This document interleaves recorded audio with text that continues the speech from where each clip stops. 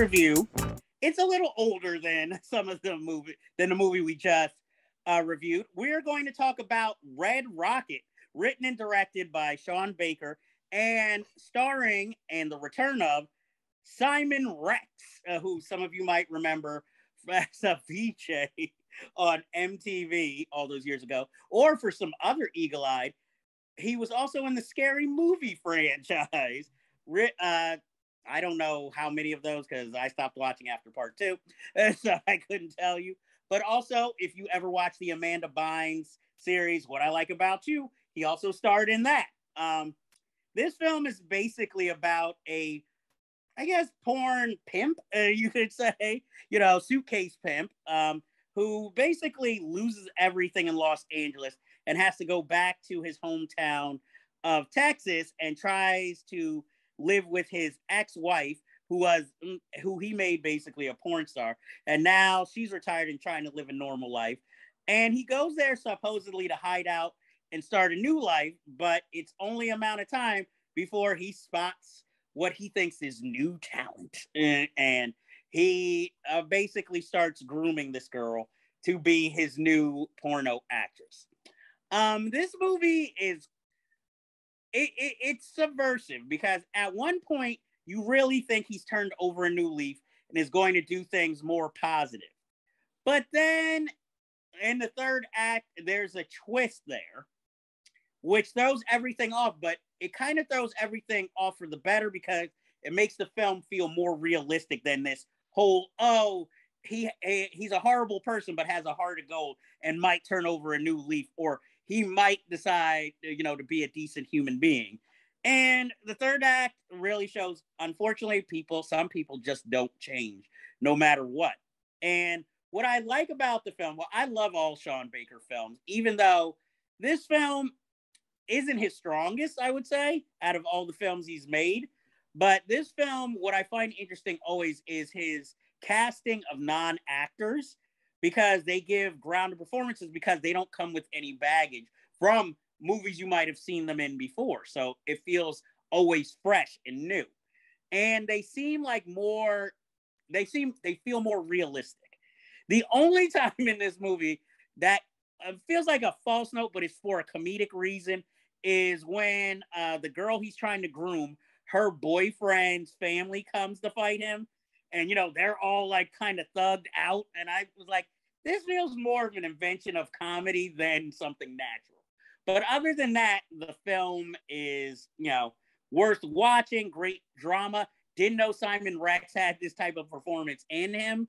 Uh, the only i will admit the sex scenes are a little disturbing even though in real life the actress is 25 but she looks so young she look really does look like a teenager. So that is some hard watching. And I also appreciate the film for its many uses of an NSYNC song throughout. You know, I'm not the biggest NSYNC fan, but that song is catchy as hell. Uh, uh, Andre, what did you think of Red Rocket? Mm. Um, so I went into it thinking it was going to be a straight comedy, and then once I realized it was sort of like the mix of a comedy and a drama, I'm not gonna lie, I was a little depressed by it, you know, especially by the end when this guy clearly is not gonna go anywhere with his life. And I felt like Simon Rex was very good. You know, overall, I love the cinematography. I did like the fact that there were very natural performances in it and just the absurdity of his situation.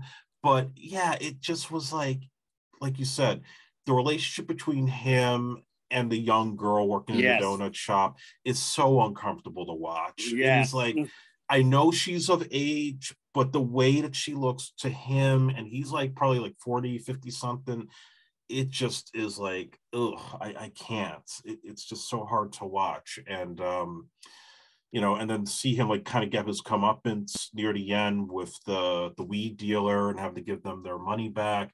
It was just I'm not saying like, look, every movie that I have to watch has to be uplifting and have like a nice yeah. wrap around, but this was just like it starts kind of down and goes further down for me, and I just I can't recommend it for anybody. It just it wasn't really my cup of tea. Um, I will admit it's very disturbing. It's very uncomfortable. Um, I will say, see, I, it's hard because again, I like the director and I like his movies. I'm not gonna say I wouldn't recommend it, but I would give a strong warning for those who want to watch the film. Like I warn you, if you've seen a Sean Baker film before, you know what you're in for. You know, it's gonna be, it's going to have comedic moments, but like you said, it's gonna be very serious and down. And if you feel like you can handle that, definitely go for it. But also, if you think you might be uncomfortable with that type of scene, those sexual scenes, maybe this isn't uh, the type of film for you or not the film for you.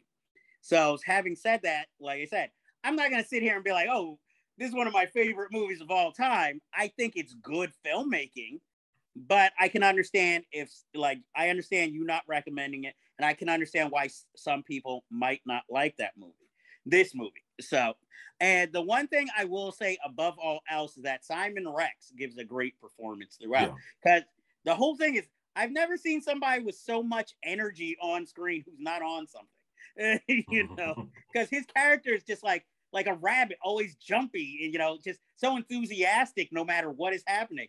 I think maybe if he was in a Harmony Korine film, maybe that would have been maybe a little more natural for him.